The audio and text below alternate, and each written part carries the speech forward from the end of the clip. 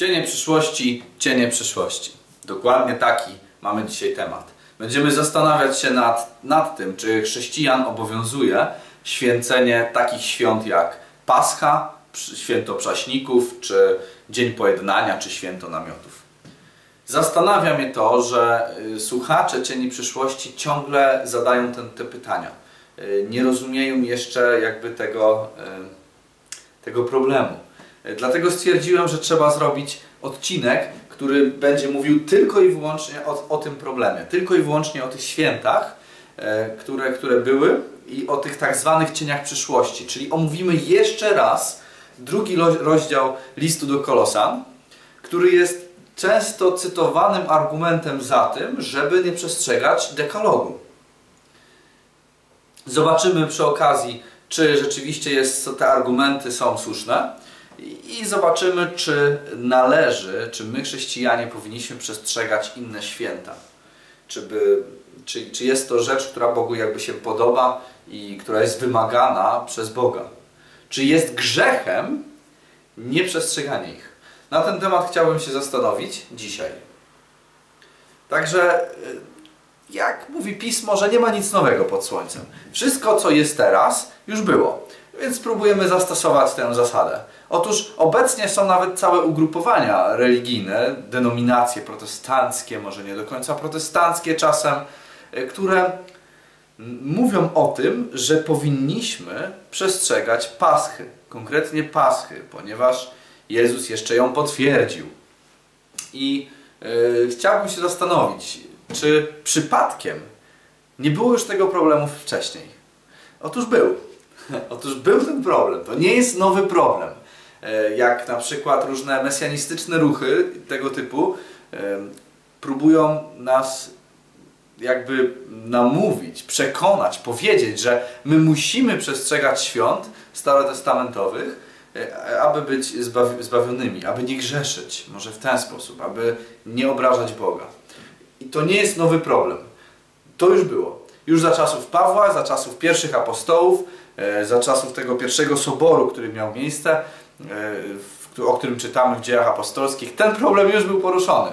E, także otwórzcie ze mną 15 rozdział e, dziejów apostolskich i przeczytam parę wersetów z początku, od pierwszego do no, parę z początku i później, później przejdziemy dalej, żeby całości nie czytać, bo szkoda czasu. Możecie, każdy, wszyscy mogą przeczytać sobie w domu sami. Otóż był podobny problem. Czytam od wersa, wersetu pierwszego. A pewni ludzie, którzy przybyli z Judei, nauczali bracia, braci. Jeśli nie zostaniecie obrzezani według zwyczaju mojżeszowego, nie możecie być zbawieni. Gdy zaś powstał zatarg i spór y, między, niemały między Pawłem i Barnabą, a nimi, a nimi postawiono, postanowiono, żeby Paweł i Barnaba oraz kilku innych spośród nich udało się w sprawie tego sporu do apostołów i starszych do Jerozolimy. Czyli widzimy, mamy jakiś spór i no, się zastanawiają, co z tym zrobić. Ci tedy, wyprawili prze, wyprawieni przez zbór, szli przez Fenicję i Samarię, opowiadając o nawróceniu pogan i sprawiając tym wielką radość wszystkim braciom. A gdy przybyli do Jerozolimy, zostali przyjęci przez zbór oraz apostołów i starszych i opowiedzieli, jak wielkich rzeczy dokonał Bóg przez nich. Lecz niektórzy ze stronnictwa faryzeuszów, uwaga teraz, którzy uwierzyli, czyli chrześcijanie, powstali mówiąc, trzeba ich obrzezać i nakazać im, żeby przestrzegali zakonu mojżeszowego. Czyli widzicie, byli pewni e, Żydzi mesjanistyczni w tamtych czasach, byli Żydzi pewni e, pewne ugrupowania faryzeuszy, którzy uwierzyli. Oni wierzyli w Chrystusa, jednak pochodzili z Żydów i powiedzieli coś takiego, że chrześcijanie z pogan przychodzący powinni być obrzezani, to jest pierwsza sprawa, a druga sprawa, powinni przestrzegać zakonu mojżeszowego. Dobra, ale czytamy tu wyraźnie o jakimś zakonie mojżeszowym. I chciałbym się też zastanowić nad tym, o co im chodziło i czy oni nie mieli przypadkiem racji. Albo inaczej, czy, czy w ogóle mieli jakieś argumenty. Widzicie, faryzeusze to byli ludzie, którzy znali pismo 3, 5, 10 razy lepiej niż ja i ty. absolutnie po prostu byli fenomenalni w znajomości Pisma Świętego. Także na pewno to, co mówili, nie było takie powierzchowne. Na pewno mieli bardzo dobre argumenty, poparte Pismem Świętym, aby mówić, że poganie powinni przestrzegać właśnie tego prawa mojżeszowego. Nawiasem mówiąc, tym prawie również są te święta. Tak, także e, chciałbym zobaczyć mniej więcej najpierw, jakie to były ich argumenty. No i otwórzmy pierwszą Mojżeszową 17.3. Pierwsza Mojżeszowa 17.3. Wtedy Abram padł na oblicze swoje, a Bóg tak do niego mówił. I dalej czytam. Oto przymierze moje z Tobą jest takie. Staniesz się ojcem wielu narodów. Nie będziesz już odtąd nazywał się Abram, lecz imię Twoje będzie Abraham, gdyż ustanowiłem Cię ojcem mnóstwa narodów. Rozmnożę więc Ciebie nad miarę i wywiodę z Ciebie narody i królowie pochodzić będą z Ciebie. I ustanowię przymierze między moje między mną a Tobą i potomkami Twoimi po Tobie, według pokoleń ich jako przymierze wieczne, abym był Bogiem Twoim i potomstwa Twego po Tobie. Ziemię, na której przybywasz jako przychodzeń, całą ziemię kanajską dam Tobie i potomstwu Twemu po Tobie, na wieczne posiadane, posiadanie. Będę Bogiem ich. Nadto rzekł Bóg do Abrahama, Ty zaś po to, a po Tobie wszystkie pokolenia dochowujcie przymierza mego, a to jest przymierze moje przymierze między mną a wami i potomstwem Twoim po Tobie, którego macie dochowywać. Obrzezany zostanie u was każdy mężczyzna. Obrzeżecie mianowicie ciało na pletka waszego i będzie to znakiem przymierza między mną a wami. Każde wasze dziecię płci męskiej po wszystkie pokolenia, gdy będzie E, miało 8 dni, ma być obrzezane. Podobnie też wszystkie inne dzieci, zarówno urodzone w domu, jak i nabyte za pieniądze od jakiegokolwiek cudzoziemca, który nie jest z potomstwa Twego. Obrzezany ma być zarówno urodzony w domu Twoim, jak i nabyty przez Ciebie za pieniądze. Czyli widzimy, to nie jest tylko do Żydów, ale też tych nabytych, tych, tych innych. I będzie przymierze moje na ciele Waszym jako przymierze wieczne jako przymierze wieczne. I teraz taki faryzeusz idzie i mówi, jak to, poganie? Poganie nie mogą być w przymierzu z Bogiem. Nie ma takiej możliwości, bo Bóg wyraźnie powiedział, że każdy, kto przychodzi spoza Izraela i chce wejść do Izraela, musi być obrzezany, bo to jest, słuchajcie, Bóg mówi przymierze wieczne. Dobry argument, nie? Rewelacyjny. I w tym momencie ja na miejscu Pawła e, i innych apostołów bym chyba stwierdził w sumie, no wiecie co? Macie rację. Macie rację. Rzeczywiście. Nie, chce, nie chcemy łamać przykazań Bożych, które są tutaj wprost, wprost napisane. Przymierze jest to wieczne. Skoro wieczne, no to no chyba Bóg czegoś, co jest wieczne, nie zmieni. Przecież Bóg jest niezmienny. Dlatego ja tak się zastanawiam, ale patrząc tak na siebie, bardzo możliwe, że zająłbym tutaj pozycję tych faryzeuszów, e, nawróconych faryzeuszów, którzy w sumie, no, argument mają nie do, nie do zbicia. Ale to było tylko obrzezanie. O obrzezaniu nie chcę dzisiaj mówić. Chciałbym zobaczyć jeszcze ten drugi argument, którzy, który mogli, mogli podać. E, myślę, że podali aczkolwiek tutaj możemy się tylko domyślać, na temat e, świąt i ogólnie prawa mojżeszowego, czyli tego prawa spisanego w księdze. No to otwórzmy druga Mojżeszowa 12:14. Druga Mojżeszowa 12:14.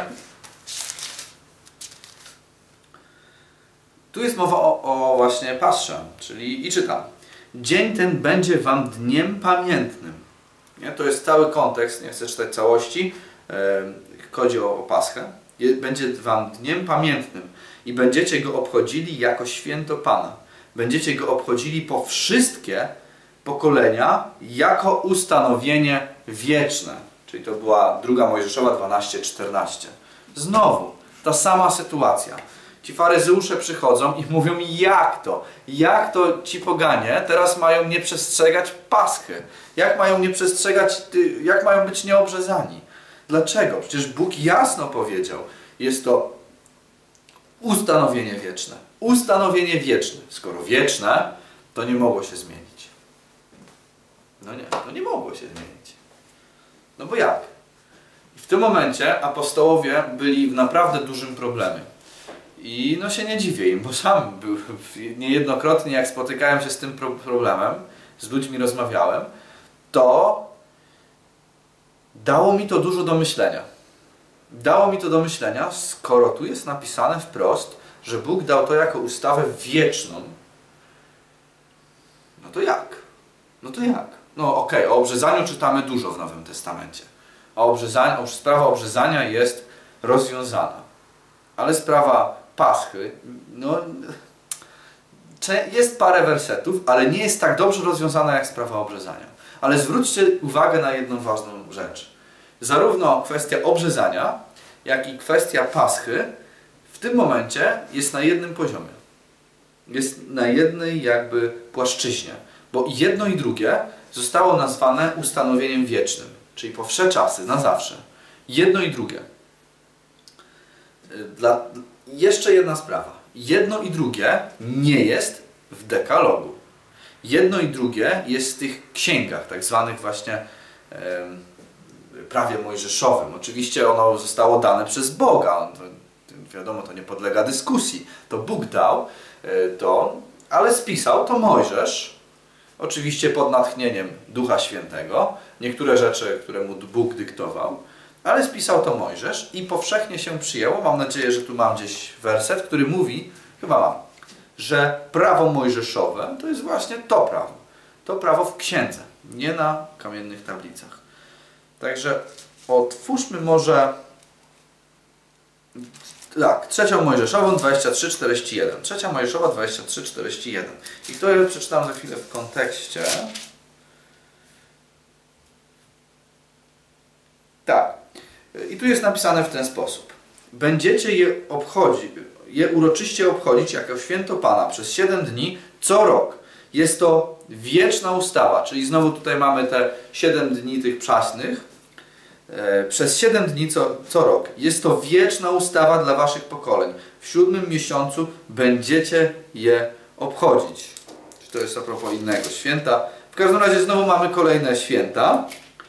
E, kolejne święta, które są jasno, jasno jest to napisane. Jasno i wprost. Te święta, te siedmiodniowe święto będziecie obchodzić zawsze. Wiecznie. Jest to ustawa wieczna. Dla wszystkich waszych pokoleń na zawsze. Na zawsze.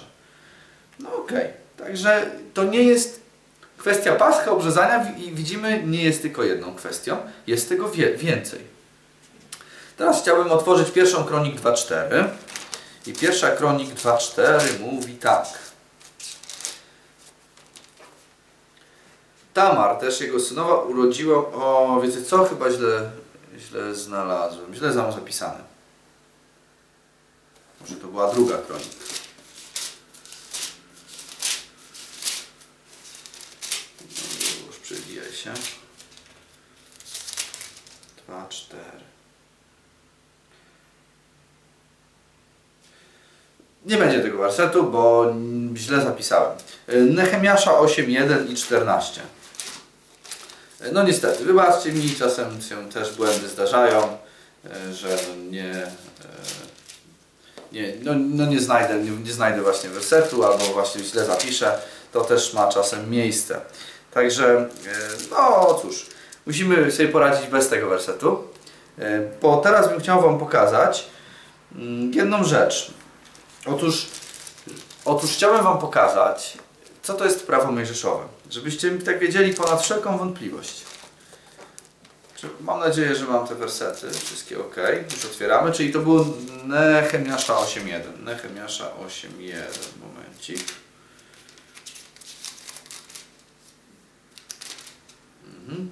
Zgromadzili się tedy cały lud co do jednego na placu, który był przed bramą wodną i uproszono Ezdrasza, pisarza, ażeby przyniósł księgę zakonu mojżeszowego, który podał, który Pan nadał Izraelowi. Ok. I czternasty werset. I znaleźli przepis w zakonie, jaki Pan nadał przez Mojżesza w czasie święta w siódmym miesiącu. Synowie izraelscy mają mieszkać w szałasach. E, tak, ten werset jest po to, aby pokazać Wam, o co chodziło faryzeuszom w 15 rozdziale dziejów apostolskich. Kiedy powiedzieli, że poganie powinni być mm, obrzezani oraz powinni przestrzegać zakonu mojżeszowego. Y, Przed chwilą Wam pokazałem, co Biblia mówi na temat tego, co jest tym zakonem mojżeszowym. I czytamy, że jest to, że jest to księga, jest to księga, księga, którą Pan nadał przez Mojżesza. Księga. Ok. Nie, nie jest tu mowa o tablicach kamiennych. Nie. Jest to prawo, które jest zapisane w księdze, które było spisane przez Mojżesza i które było położone, jak zaraz się dowiemy, obok arki. Ok. Także myślę, że to jest dość jasne. E, Przychodzą faryzeusze i mówią, to prawo spisane przez Mojżesza. Nie mówimy o tych kamiennych tablicach. To jest poza dyskusją na razie. To prawo spisane przez Mojżesza i kwestia obrzezania musi być przestrzegana przez pogan. No dobrze, to zobaczmy teraz reakcję i jakie wnioski wysunęli apostołowie e, odnośnie tego argumentu. Pozornie patrząc, niezbitego. Jest bardzo dobry argument. Świetny. I jak ludzie właśnie, którzy e, mają podobny argument, mi to prezentowali, czułem się zakłopotany. I nie umiałem im odpowiedzieć, bo, bo zawsze wierzyłem, że no nie powinniśmy tego przestrzegać, tych świąt. A oni dali mi tak dobre argumenty, że zacząłem się zastanawiać, czy przypadkiem, czy przypadkiem nie robię źle. I dlatego uważam, że jest to dobry argument i uważam, że to jest dobry temat na odcinek. Dobrze. Y, To jest Dzieje, Apostolskich, Dzieje Apostolskie 15 od 5 wersetu będę czytał.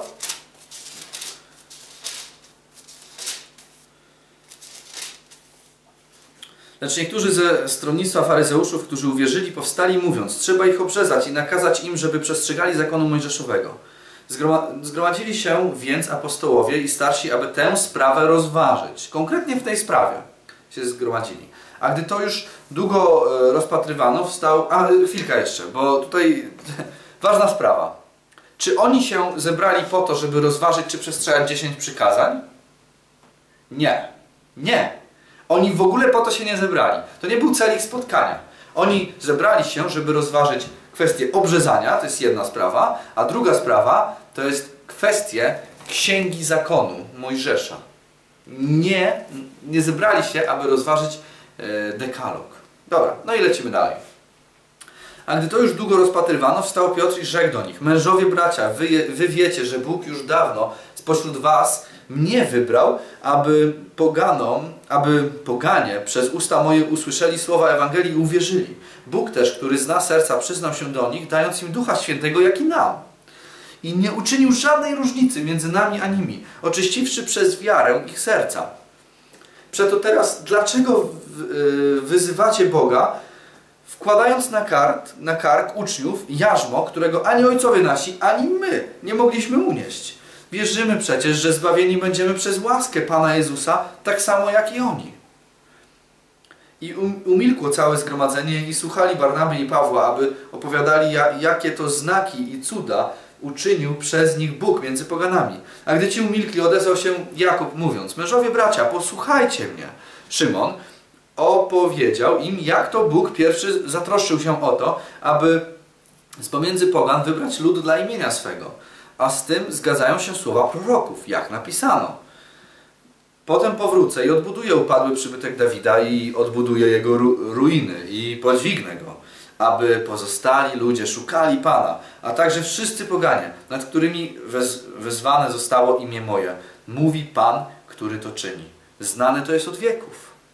Dlatego sądzę, że nie należy czynić trudności y, tym spośród pogan, którzy nawracają się do Boga, ale polecić im, że, im, żeby się wstrzymywali od rzeczy splugawionych przez bałwany, od nierządu, od tego, y, co zadławione i od krwi.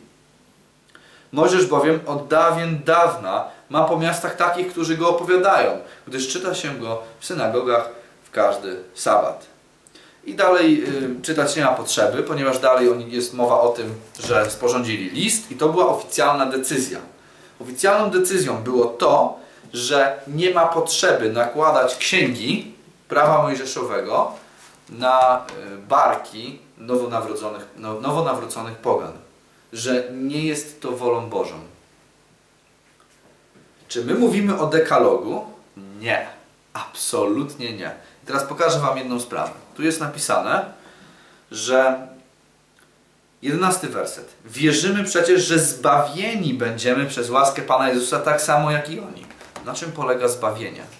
Na ten temat czytamy w pierwszej w Ewangelii Mateusza 1:21. Nazwą, nazwą go imieniem Jezus, ponieważ on zbawi lud swój od grzechów jego.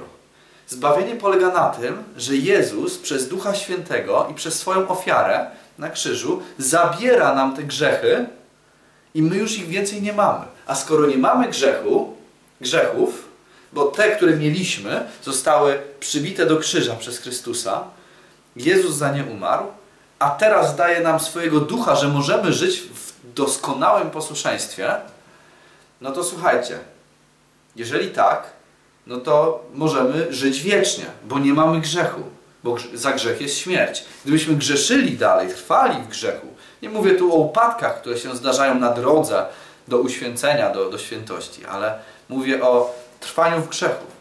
Jeżeli tego nie ma, to jesteśmy zbawieni do życia wiecznego, ale samo zbawienie nie polega tylko na, na osiągnięciu życia wiecznego. Może inaczej, w sumie polega, ale inaczej.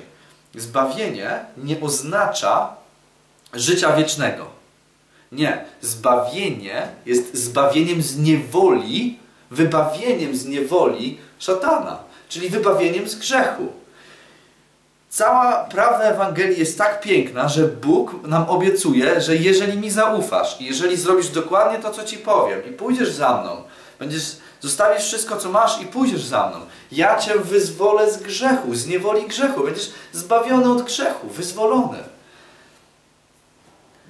I to jest właśnie, na tym polega zbawienie. Dlatego patrzcie, co, co tu jest napisane. Wierzymy, że zbawieni będziemy przez łaskę Pana Jezusa tak samo jak i oni.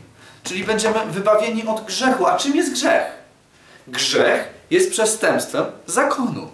Grzech jest przestępstwem prawa. Skoro stwierdzili, że zakon mojżeszowy nie obowiązuje, to jak oni mówią jeszcze o zbawieniu, o zbawieniu od grzechu, od grzeszenia, od, od łamania prawa? Otóż tu jest mowa wyraźnie o dekalogu. Skoro zakon mojżeszowy nie obowiązuje, to tu jest mowa wyraźnie o dekalogu.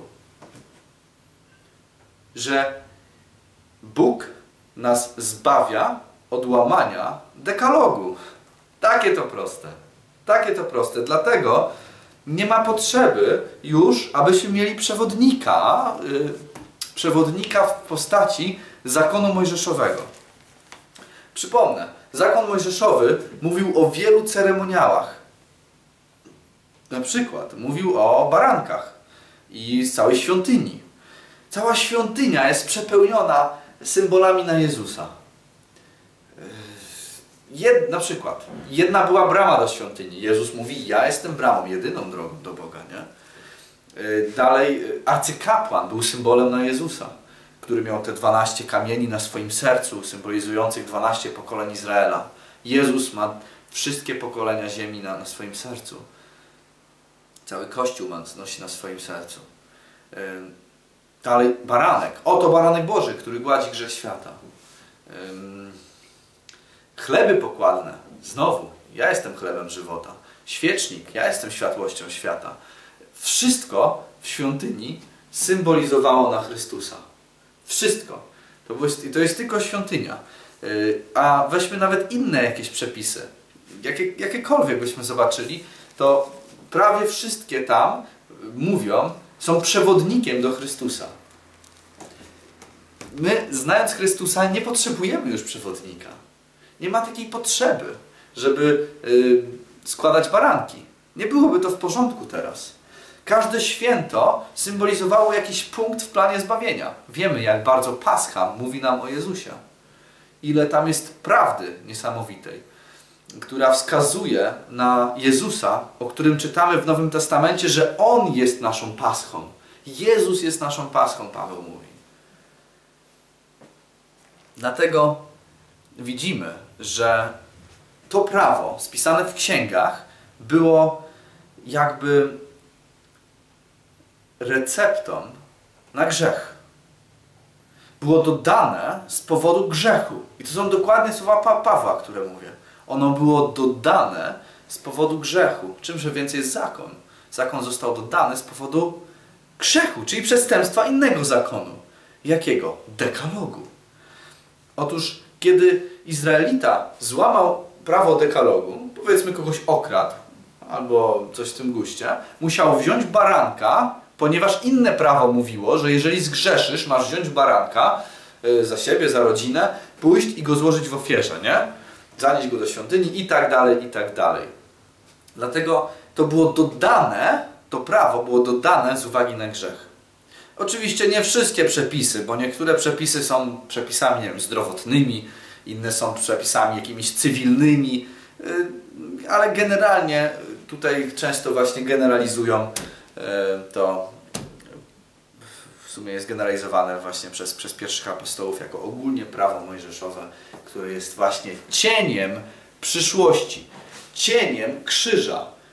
Czyli tak jak cały cała świątynia i cały system ofiarniczy, tak zwane, jak czasem się mówi, to prawo ceremonialne, y, jest właśnie cieniem, jest proroctwem na tego, który dopiero miał przyjść, na Jezusa.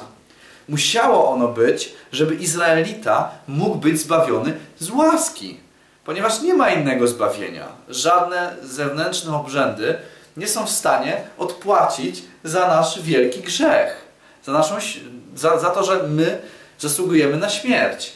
Żadne składanie baranków nigdy nie mogło tego zgładzić. I o tym również Paweł mówi w liście do Hebrajczyków. Także dopiero ofiara Jezusa jest tym, tą rzeczą wystarczającą. Tą rzeczą, która sprawia, że my możemy być czyści i że my możemy uważać siebie jako tych, którzy umarli już dla grzechu, którzy spłacili dług. Ponieważ Jezus za nas, w nasze miejsce wstąpił i On umarł na krzyżu. Nie? Za nas, za mnie, za Ciebie i za, za nas. Ok. I ta sprawa została rozwiązana już dawno. Jak widzicie, nie jest nic nowego. Także teraz dopiero, w tym momencie chciałbym otworzyć Kolosan drugi rozdział. Mamy to wszystko jakby e, przygotowane, jak to wszystko mamy zebrane razem.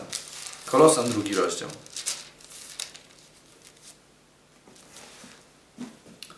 I przeczytam od wiersza, od wiersza no może od 11, może nie, od 12.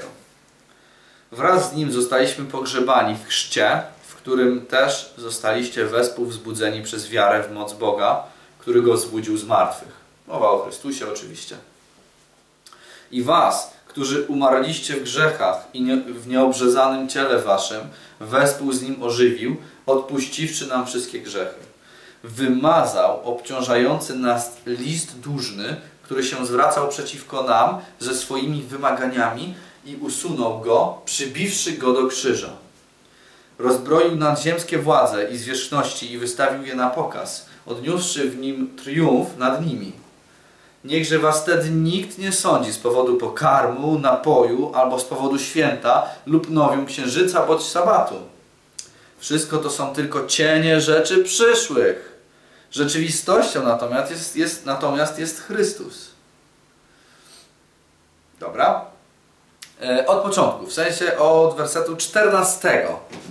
Żeby jeszcze raz spróbuję wam, wam pokazać to wszystko, co inne fragmenty mówią, które już przejrzeliśmy pokazać Wam, że właśnie o tym samym jest mowa w tym, w tym fragmencie. Ludzie jakoś ciągle nie potrafią tego złapać. Pierwsza sprawa. Wymazał obciążający nas list dłużny, który się zwracał przeciwko nam ze swoimi wymaganiami i usunął go, przybiwszy go do krzyża.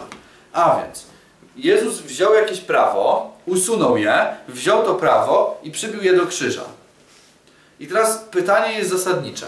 O jakim prawie jest tu mowa? Czy jest tu mowa o prawie wszelkim? Każdym jednym prawie? No bo niektórzy mówią, litera przecież zabija, duch ożywia. Nie rozumiejąc w ogóle tego wersetu. Czy jest tu mowa o wszelkim prawie? W jaki sposób litera zabija? Co jest z niej nie tak? Czy jest coś z niej nie tak? E, No może najpierw rozważmy ten problem. E, Na przykład otwierając Rzymian 7 rozdział, 7 werset. To, to łatwo załatwić. To jest bardzo prosta, prosta sprawa, ale ludzie się z tym biją. Mówią litera zabija. Więc pozbądźmy się litery. Nie, nie, nie, nie, nie. To absolutnie w ten sposób nie można patrzeć na to. Cóż więc powiemy, że zakon to grzech? Przenigdy! Przecież nie poznałbym grzechu, gdyby nie zakon. Wszak i o porządliwości nie wiedziałbym, gdyby zakon nie mówił nie pożądaj. Przenigdy! Absolutnie. Zakon to nie jest grzech. Zakon jest doskonały, jak zaraz zobaczymy. 12-13 werset. Tak więc zakon jest święty i przykazanie jest święte i sprawiedliwe i dobre. Ale o jakim zakonie tu jest mowa? O tym, który mówi nie pożądaj. On mówi cały czas teraz o zakonie dziesięciu przykazań. Czy zatem to, co dobre, stało się dla mnie śmiercią? Przenigdy. To właśnie grzech, żeby się okazać grzechem, posłużył się rzeczą dobrą, by spowodować moją śmierć, aby grzech przez przykazanie okazał ogrom swojej grzeszności. Także jak to jest, że litera zabija, duch, duch właśnie ożywia? E, otóż, gdy my żyjemy w grzechu bez zakonu, Paweł też mówi, ja też kiedyś byłem bez zakonu, ale gdy przed zakon, grzech ożył, a ja umarłem. Jak było to, że Paweł mógł być bez zakonu? Przecież on był faryzeuszem, on był kiedyś bez zakonu. No, właśnie w pewnym sensie był, bo twierdził, że on jest faryzeuszem, on już jest święty, a to ci celnicy, to do nich jest zakon, on nie jest do mnie. No ja, ja już jestem święty, ja jestem zbawiony, jestem święty, to do tych grzeszników, to tam do nich jest zakon. On żył bez zakonu. Czy to znaczy, że on był bezgrzeszny? Nie, absolutnie nie. On miał jeszcze więcej grzechu niż ci, którzy wiedzieli, że zakon się do nich tyczy. On miał właśnie ten olbrzymi, największy grzech, można by powiedzieć, jeżeli w ogóle wartościowanie coś tutaj, jeżeli te rzeczy można wartościować. Także, gdy przyszło przykazanie, on sobie uświadomił, o, ho, ho, o, o ja, jest źle, jest źle, jest bardzo źle. Co ja mogę teraz zrobić? Nic nie mogę zrobić. W zasadzie jestem martwy. Jestem martwy. Umarłem. Jestem potępiony. Zrozumiałem o co chodzi w zakonie. Jestem potępiony. Jestem martwy. Litera mnie zabiła. Mogę się starać. Będę się starał przestrzegać tego zakonu. I starał się. I starał się. I jeszcze się starał. Litera go zabiła. Wtedy przyszedł duch, który powiedział mu o Chrystusie. Wtedy przyszła prawda zbawienia, jakie, jakie mamy w Chrystusie. Że nie poleganiem na zakonu, na zakonie ja mogę być sprawiedliwy, ale poleganiem na Jezusie w mojej sprawiedliwości. Ja mogę stać, się sprawiedliwym. Mogę przyjąć Jego sprawiedliwość w moje miejsce. Rozumiecie? W ten sposób litera zabija. Zawsze, gdy jesteśmy w grzechu i czytamy prawo Boże, to stwierdzamy, ja jestem martwy. Ja, ja jestem martwy. Tak. Ale dopiero później duch ożywia. Pocieszyciel nam uświadamia, że przecież mówi nam, to ja za Ciebie oddałem życie.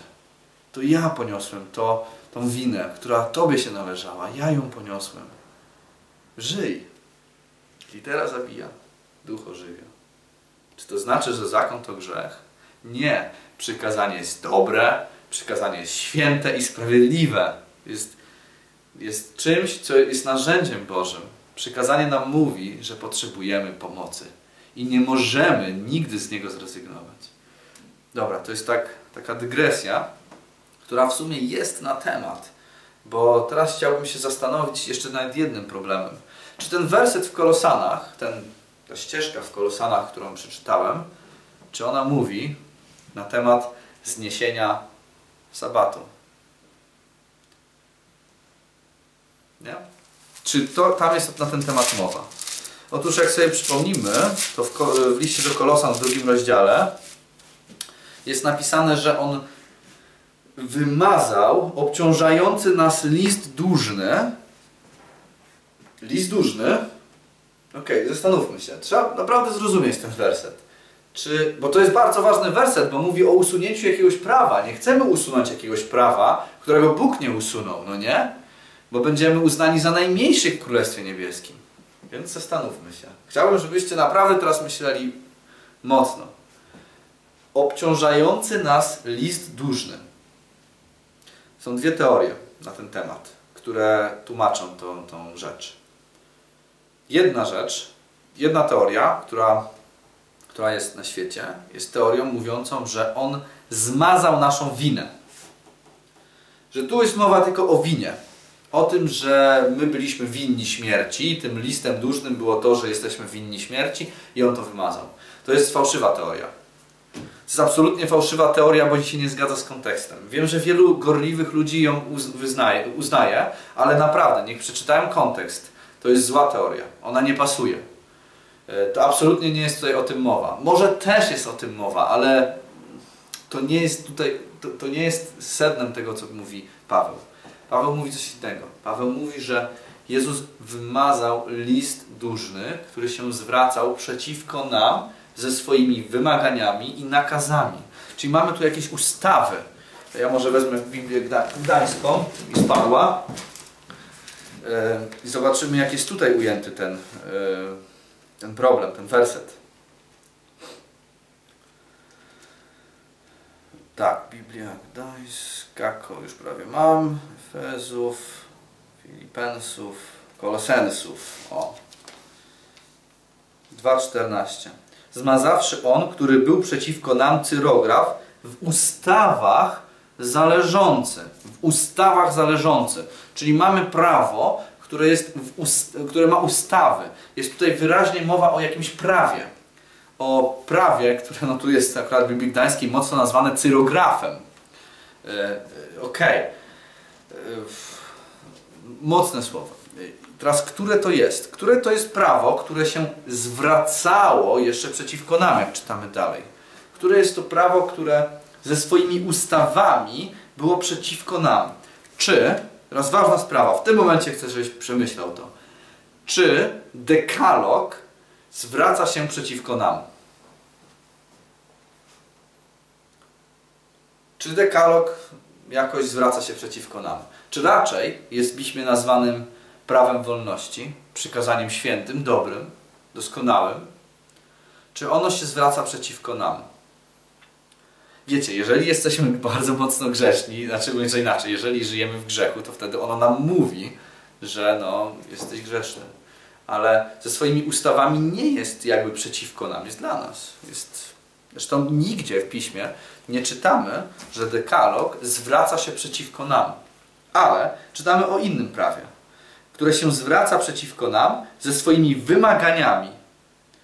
I jest to 5 y, Mojżeszowa 31, 26, od 24 przeczytam. 5 Mojżeszowa 31.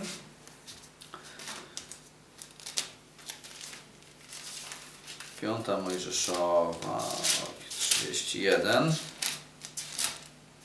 od 24 do 26. A gdy Mojżesz spisał do końca słowa tego zakonu w księdze, w księdze, mowa jest o księdze, księdze zakonu mojżeszowego, to dał Mojżesz Lewitom, którzy nosili skrzynię przymierza Bożego, taki rozkaz. Weźcie księgę tego zakonu i połóżcie ją obok skrzyni przymierza Pana Boga Waszego. Niech będzie tam, na, tam świadkiem przeciwko Tobie. Jest jedyne prawo, prawo w księdze, czy w zwojach, no tłumaczone jest jako księdze, jest prawem, które się zwracało przeciwko Izraelitom. Czyli mamy prawo w księdze. Wyraźnie jest mowa o prawie w księdze. Y, więc zastanówmy się. Dlaczego? Otóż to prawo mówi, że słuchajcie, wy zgrzeszyliście. To prawo mówi tyle, to w księdze. Zgrzeszyliście, a tu jest recepta na grzech. I ono będzie świadczyło przeciwko Tobie, ponieważ to, że była świątynia, w której składano ofiarę, w której składano baranki w Izraelu, yy, znaczyło tyle, że Izrael zgrzeszył. Izrael nie jest święty, bo Izrael zgrzeszył, musi mieć baranka, musi mieć wybawiciela. Musi być przelana krew i ta krew była przelewana codziennie ofiarą ustawiczną i nie tylko. Dlatego prawo zapisane w księdze, tak zwany zakon ceremonialny, e, jest tym, który się zwracał przeciwko nam, czyli Izraelitom w, te, w tamtym kontekście. Nie dekalog. Dalej czytamy o tym, że wziął ten cyrograf, wziął to prawo, które się zwracało przeciwko Izraelitom, wziął i je przybił do krzyża. Spróbuj przybić do krzyża kamień, tablice kamienne. No, jest to raczej problematyczne. Także tam absolutnie nie jest o tym mowa. I dalej czytamy o tym, że e, żeby was nikt nie sądził z powodu święta, nowiu, księżyca bądź sabatów. Teraz ludzie mówią, no ale przecież tu jest słowo wprost powiedziane. Więc dlaczego tak zwani sabatarianie, ludzie, którzy przestrzegają sabatu, dlaczego oni mówią, że trzeba przestrzegać sabatu? Ponieważ kontekst, kontekst całej wypowiedzi mówi w ogóle o innym prawie. E, I jak tutaj czytamy, że bądź sabatów, to dalej czytamy jeszcze wyjaśnienie. Dalej w tym samym wersecie czytamy. Są to bowiem tylko cienie rzeczy przyszłych. Rzeczywistością natomiast jest Chrystus.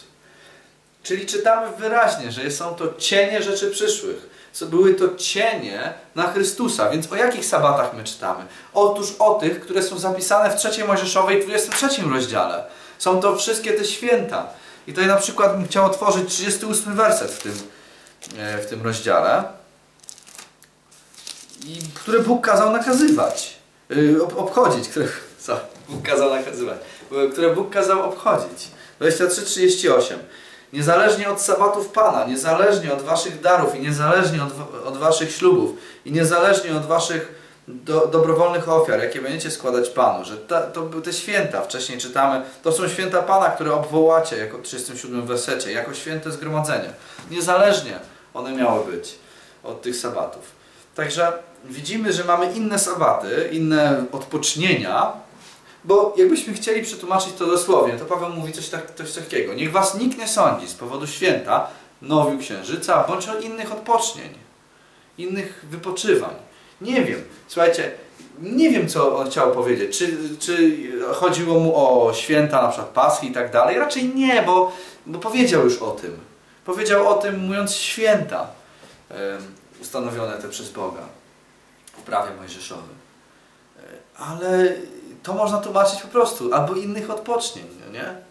Tak jak, tak jak na przykład jest to przetłumaczone w czwartym, rozdziale, w czwartym rozdziale listu do Hebrajczyków że odpocznienie dla ludu Bożego pozostaje.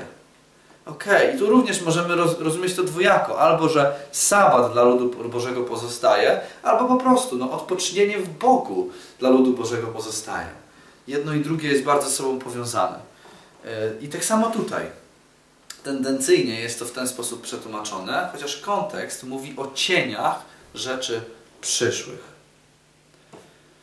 Ok. Jeszcze przeczytamy Efezjan 6, 1, 2. Efezjan 6, 1, 2. Tak. Dzieci, baczcie, bądźcie posłuszni rodzicom swoim w Panu, bo to rzecz słuszna.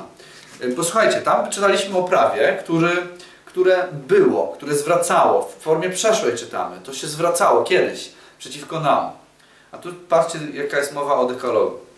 Czci, o, drugi werset. Czci ojca swego i matkę. To jest pierwsze przykazanie z obietnicą. Paweł mówi, nie, nie, że to było przykazanie z obietnicą pierwsze. Paweł nie mówi, słuchajcie, no wtedy, za czasów Starego Przymierza, to było pierwsze przykazanie z obietnicą. Nie. Tak tu nie jest napisane. Paweł mówi wprost, to jest teraz pierwsze przykazanie z obietnicą. Dlatego absolutnie nie możemy zrezygnować z dekalogu, ponieważ apostołowie z niego nie rezygnowali. I, yy, ale zrezygnujmy z cieni przyszłości. Znaczy, oglądajcie dalej, ale zrezygnujmy z cieni rzeczy przyszłych. Z proroctw, które wskazywały na, na Mesjasza. Zrezygnujmy z prawa ceremonialnego. Zrezygnujmy z Paschy. Oczywiście, jeśli chcesz ją obchodzić, okej, okay, okej, okay, to dobrze.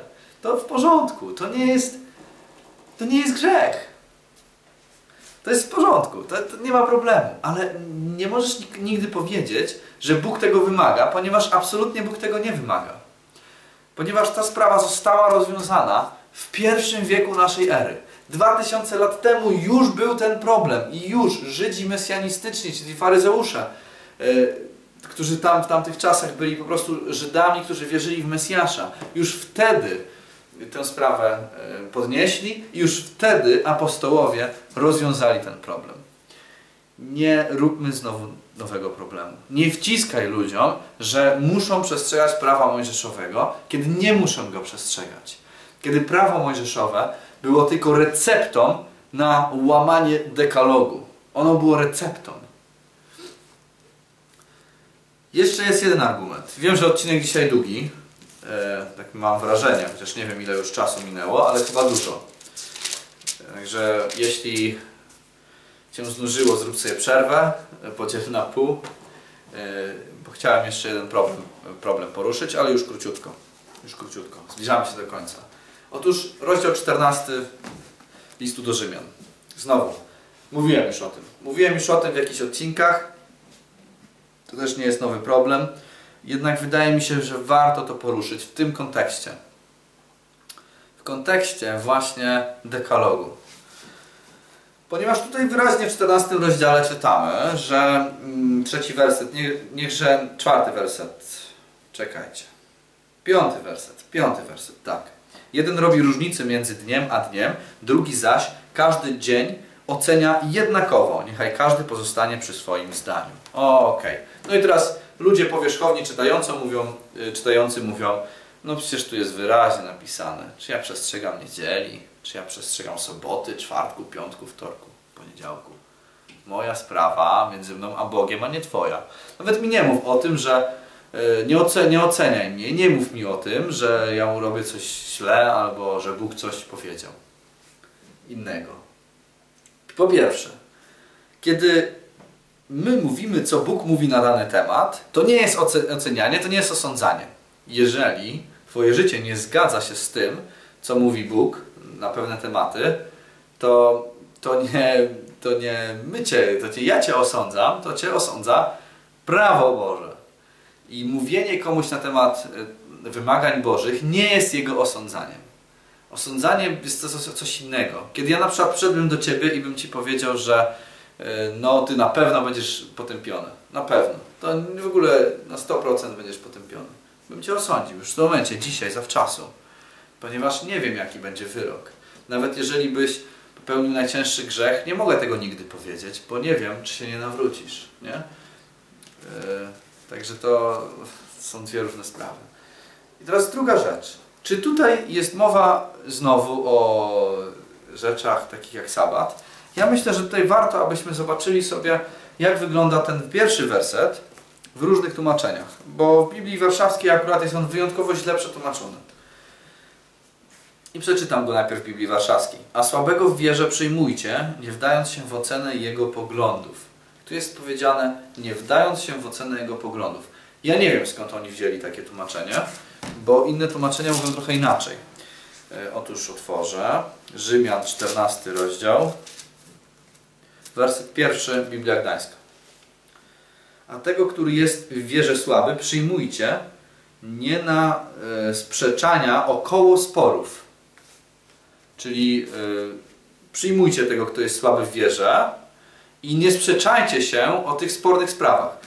Żeby Wam udowodnić, że staropolski właśnie tak mówi, to pokażę Wam staroangielski w King James Biblii Króla Jakuba. Romans 14, yes, okay. Him that is weak in the faith receive he, but not to doubt, doubtful disputations. Czyli not to doubtful disputations. Czyli nie, nie przyjmuj ich po to, żeby dyskutować z nimi na temat wątpliwych spraw.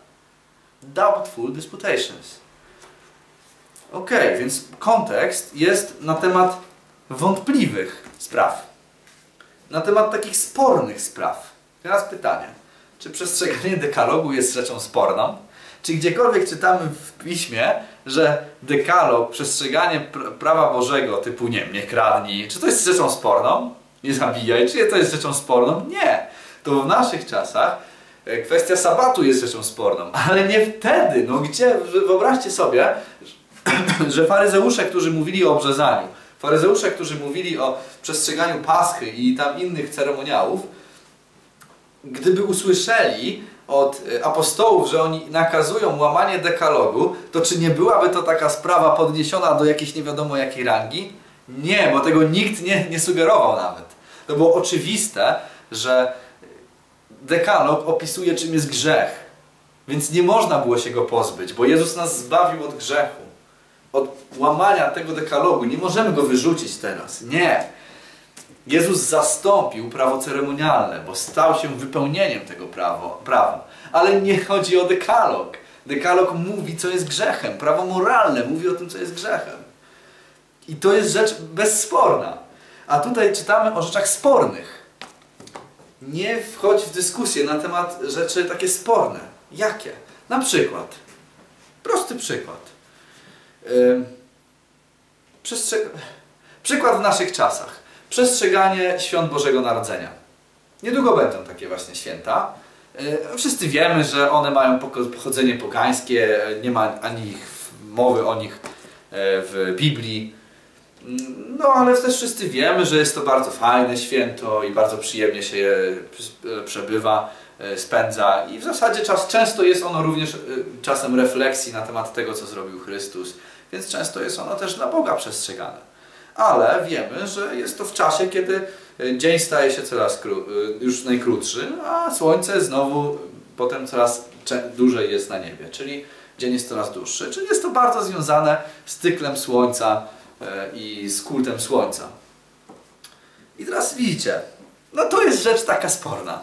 No ja nie będę mówił wam, żebyście teraz nie przestrzegali tego absolutnie, znaczy przestrzegali, nie? Nie obchodzili świąt Bożego Narodzenia. Ja mogę wam powiedzieć, żebyście wiedzieli, że no korzenie, korzenie tego nie są w Biblii, bo Biblia nigdzie nie mówi, żebyśmy przestrzegali Bożego Narodzenia. Ale jeden, no jak chcesz, to sobie przestrzegaj, jeżeli robisz to dla Pana. Biblia też tego nigdzie nie zakazuje, więc w zasadzie no ja nie widzę problemu, nie? E, I nie będę z Tobą wchodził w spory w te kwestie. Chociaż ja osobiście, no słuchajcie, no ja jakby, ja często spędzam y, święta właśnie z moją rodziną, która no, nie jest jakby rodziną na, nawróconą, no i muszę tam być i przestrzegam tego, znaczy przestrzegam. Nie przestrzegam, po prostu jestem w tym miejscu. I uwa uważam, że to jest dobre rozwiązanie, bo jakby to wyglądało, jakbym powiedział, że nie spędzę tego czasu, który i tak mam wolny, który i tak mam wolny, nie spędzę z nimi. Nie spędzę z moją rodziną. Jakby to było? Zastanówcie się trochę. Czy byłoby to po chrześcijańsku? E, Ale jak już tam jestem, to nie będę im wypominał, że tego nie rób, tego nie rób, tamtego nie rób, to jest pogańskie. No to w ogóle to by zniszczyło całą Ewangelię. W ogóle na ten temat nie jest Ewangelia. To nie o to tu chodzi. Nie? Tak samo jakieś inne święta. E, Albo na przykład, czy chrześcijanie powinni obchodzić urodziny. No słuchajcie, no nie ma tego w Biblii. Nie ma tego. I teraz ja bym przyszedł do Ciebie i powiedział, słuchaj, słuchaj, Ty jesteś chrześcijaninem i przestrzegasz Twoich urodzin. Ale w Biblii tego nie ma. No nie ma. No i więc niestety, ale grzeszysz. Widzicie jaka to jest głupota w ogóle? Jak to nie pasuje do, do całej reszty? I słuchajcie, no niekiedy ludzie właśnie robią religię z takich rzeczy. Niekiedy ludzie właśnie tak stoją w takiej opozycji do na przykład świąt Bożego Narodzenia. Jakby to nie wiadomo jaki grzech był, że ktoś sobie kupił tą choinkę. Wiadomo, że to jest kurczę kawał drzewa i tyle. No, nikt się do tego nie modli i tak dalej. No samo osobiście bym nie kupił, bo po co? Bo po co? No, nie ma takiej potrzeby. Ale jeżeli wiecie, no komuś by to miało sprawić radość, no to, to jeny, no. Przy okazji jest okazja, żeby opowiedzieć trochę na ten temat. E, Jednak tutaj no, to są tego typu rzeczy. Albo na przykład, nie wiem, rocznicy ślubu. No dlaczego je przestrzegasz? Dlaczego tego przestrzegasz? No, no po co? Biblia mówi, żebyś to przestrzegał? No nie, nie mówi. Ale czy masz nie przestrzegać? No ale czy to źle? Czy to, że przestrzegasz tego dnia, to jest y, dla Pana tego nie robisz? Czy robisz to dla Pana? Żeby twoja małżonka była szczęśliwa, że twój mąż był szczęśliwy, żeby razem jakoś się wspomnieć ten dzień. No słuchajcie, no to są fajne dni, które jeżeli są mądrze rozumiane, są przestrzegane dla Pana. Kto przestrzega dnia, dla Pana przestrzega. Kto nie przestrzega, dla Pana nie przestrzega. Czyli widzimy, to są pewne rzeczy, które są ustanowione przez ludzi. I ja tak rozumiem ten werset, ale nie o świętach, które ustanowił Bóg. Nie o cotygodniowym sabacie. To nie podlega sporom. To jest oczywiste, że dekalog obowiązuje. Bo jeśli nie, no to idź i czci innych bogów i nie będziesz miał grzechu. I niektórzy do takiego mylnego wniosku dochodzą. Właśnie przez usunięcie, y, usunięcie soboty. Bo jeżeli usuwamy sobotę, to cały autorytet prawa dekalogu jest zachwiany. Bo skoro usunęliśmy ten, to jedno przykazanie, no to co za problem usunąć drugie? Nie ma żadnego problemu. Dlatego uważajmy.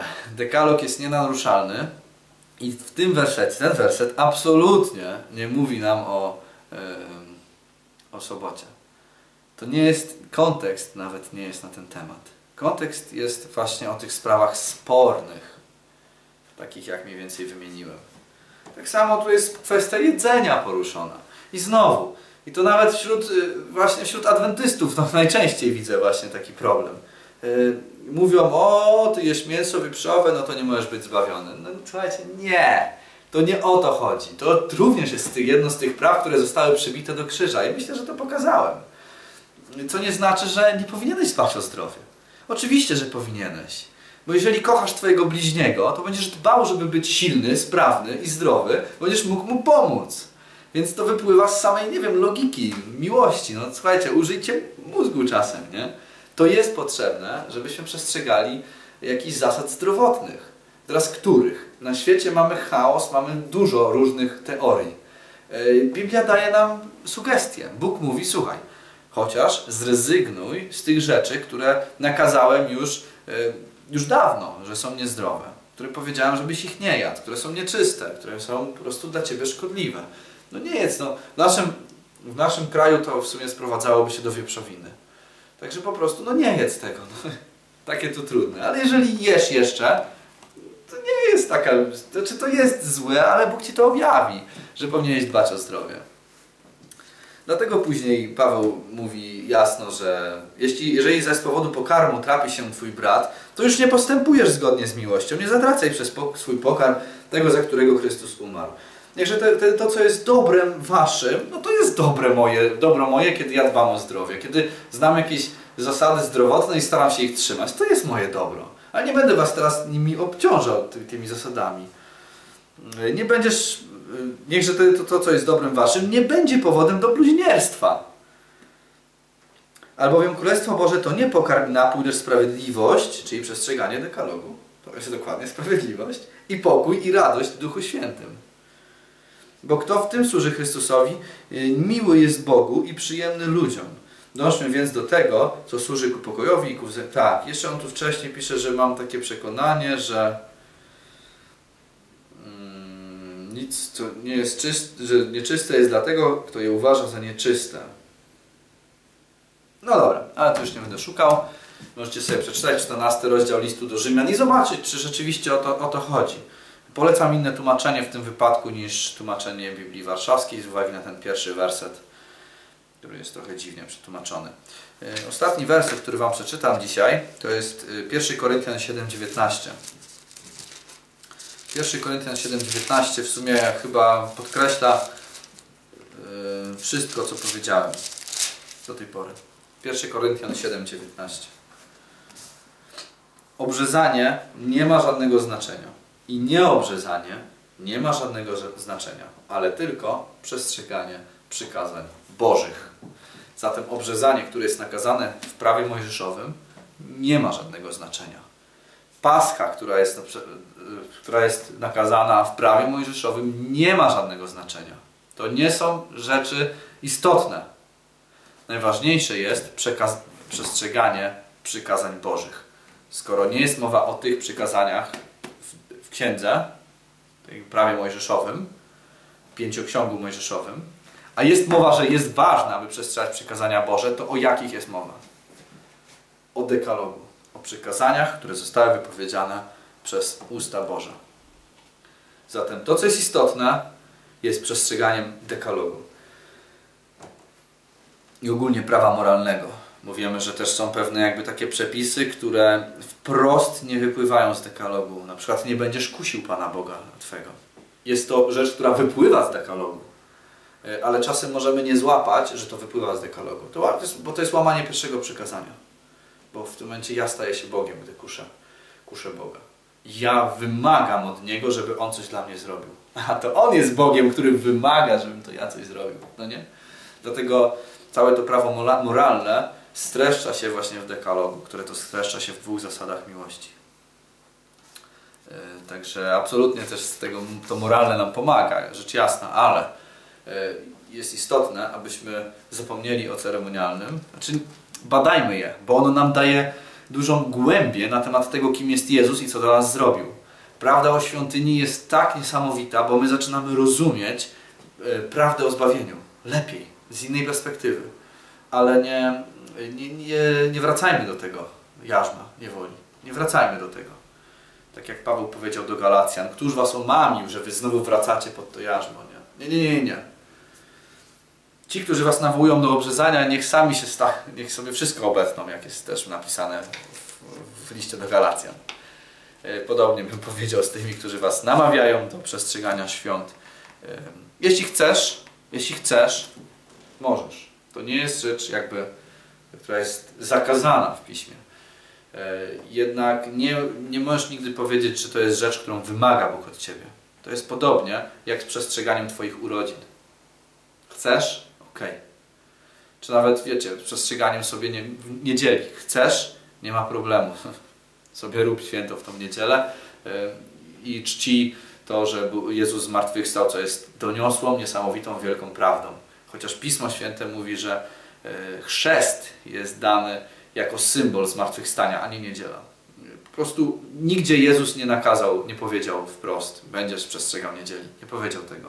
Więc jeżeli to robisz, jest to nakaz ludzki i okej, okay, i możesz to robić, ale nie łam dekalogu. Nie rób tego. Bo jeżeli to robisz, jesteś przestępstwem prawa Bożego, jesteś winny śmierci i jeżeli będziesz trwał w tym grzechu, zostaniesz potępiony na wieki.